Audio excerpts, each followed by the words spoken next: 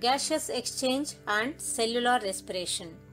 Objectives By the end of this video, you will be able to explain the gaseous exchange at lungs level, explain the transportation of gases, as well as explain the cellular respiration. We generally breathe to get oxygen, which is utilized to release energy from food components. How does energy reach all parts of the body and is utilized? And how is carbon dioxide carried out to the lungs? To get aware of all these, we need to go little more deep into the process of respiration. Let us see some of the aspects of gaseous exchange at lungs level, transportation of gases and cellular respiration. Gaseous exchange at lungs level. Lungs are made up of alveoli, which are considered as structural and functional units of lungs. These alveoli are small and tiny sac-like structures. The walls of the alveoli is one-celled thickness. These alveoli are surrounded by numerous blood capillaries which are also constitute one-celled thickened walls. The deoxygenated blood from the heart flows through these capillaries towards the alveoli. The carbon dioxide from the blood is diffused out of the capillaries into the alveoli.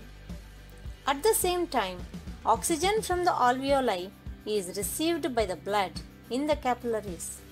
When we breathe out, carbon dioxide from alveoli is released out into the atmosphere through the respiratory tract. The oxygen rich blood or oxygenated blood returns to the heart and pumped to all parts of the body. This is how gaseous exchange takes place at lungs level. Transportation of gases. Hemoglobin is the pigment that helps in transportation of gases. It exists in the red blood cells. It has more affinity to combine with oxygen to form oxyhemoglobin. It is transported to all parts of the body through the bloodstream. It is represented as follows Hb plus O2 gives rise to HbO2 that is oxyhemoglobin. This is taken place at lungs level.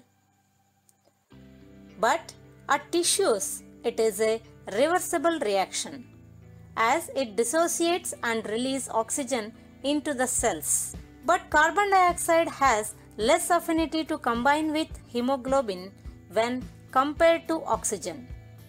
Hence, carbon dioxide is transported in three methods. They are by dissolution directly in the blood. 5 to 7 percent of carbon dioxide is transported in this method. The second way is by combining with the hemoglobin. Around 10% of carbon dioxide is transported in this method. The third method is it is carried as bicarbonate ions. Around 85% of carbon dioxide is transported in this way. Gaseous exchange at tissue level. The tissues or the body parts continuously use oxygen for metabolic activities. Hence, concentration is low in them and oxyhemoglobin releases oxygen molecules into the cells. Carbon dioxide, which is produced due to cellular respiration at tissues, is transported as per the gradient to the lungs through the above said ways. Cellular respiration. It refers to the pathway by which the cells release energy from chemical bonds of food molecules. It does not occur in a single reaction. In eukaryotic cells, it occurs in both cytoplasm and mitochondria. Breakdown of glucose molecule involves a series of biochemical reactions. It occurs in three phases. The first one is glycolysis, The second phase is Krebs cycle. The third phase is electron transport system.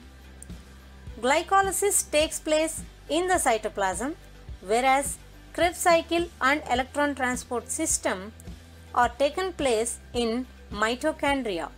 By the end of the process, the energy is released and stored in the form of ATP in mitochondria. Hence, mitochondria are known as powerhouses of the cell. ATP is nothing but adenosine triphosphate. It is an energy rich compound that is capable of supplying energy at need. Hence, it is known as energy currency of our body. Each ATP molecule gives 7200 calories of energy. Summary With this video, we have learnt the following concepts. Gaseous exchange at lungs level takes place between alveoli and blood in the blood capillaries. Transportation of oxygen and carbon dioxide takes place through the blood. Cellular respiration takes place in three phases such as glycolysis, Krebs cycle and electron transport system. We have also learned that ATP is the energy currency of our body.